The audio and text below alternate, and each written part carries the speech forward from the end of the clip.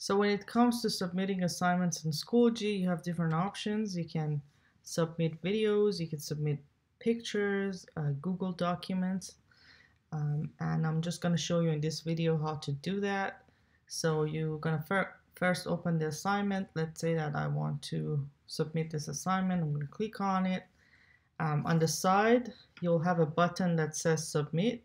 Here I see resubmit because I already submitted the assignment, so it lets me just resubmit it. But if this is the first time you're opening the assignment, you'll see a submit button right here. And when you click on it, you have three different tabs on the top. Uh, so we're gonna go through each tab. The first tab is upload. Here is where you can upload files. So you have two buttons here. The first one is file. If you click on file, uh, it lets you upload an image or a video or a PDF file and you can just browse in your computer in your documents. It could be in your downloads or on your desktop. So wherever it is you just double click on it and it will upload that image or video or PDF file here. It could be a Word file. And then if you have to add a comment for your teacher you can do it here. You can just say this is my comment and then click on submit. So it will submit the image or the video or the PDF file right here. Remove that right now. The next option under upload is to click on this little microphone.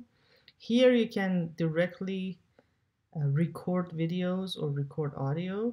Uh, it's just like Flipgrid. Some of you may have worked with Flipgrid before.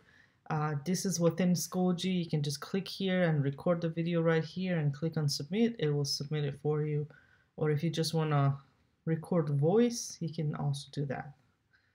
So again, two options under upload, either a file, could be different types of file, or you could record video or audio. The next option is to create. So let's say the assignment is a simple question and you just want to answer a simple question. You can just click on create. You can type your answer right here. This is my answer. And then you can style. You could just choose different styling. There's a spell check that you can use. And uh, you could just change the font. So um, this is just in case the assignment is just a simple assignment. You just have to answer a simple question or write something real quick. You could just directly put click on create and create your document right here and then click on submit and it will submit your answer. The next option is to uh, click on resources. Uh, this is where you can import your Google files. So let's say there's something on my Google Drive that I want to submit here.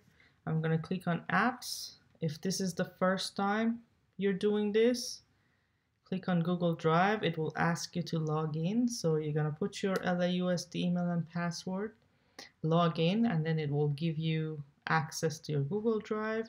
If you click on this, it's going to open the file. So that's not what you want to do. So what you want to do is to check here, click on import, and just click on import file and it will submit it for you. Uh, if for some reason you need to switch accounts and let's say your assignment is on your personal Google Drive, you have options here. You can click here, account settings, and just log into your other accounts um, and just get files from there. So again, do not click here, click on the little box and then click on import and you can import the file.